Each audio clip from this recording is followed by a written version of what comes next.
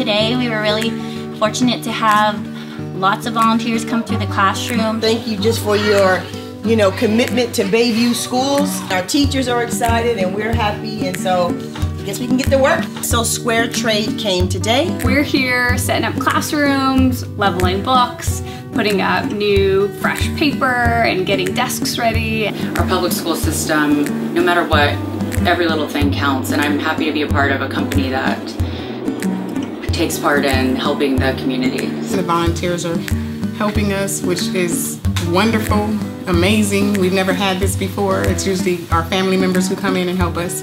In what is increasingly a sort of divided uh, Bay Area economy, it's a great way for tech companies to connect with the rest of the city.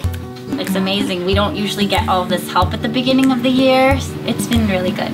It seems like the, the teachers really appreciate it and are grateful for our help, so happy that we can connect with the community and help out where we can. This initiative from sf.citi is just a great way to do that. And just remember the city that you live in and sort of everything that makes it the, the great city that it is.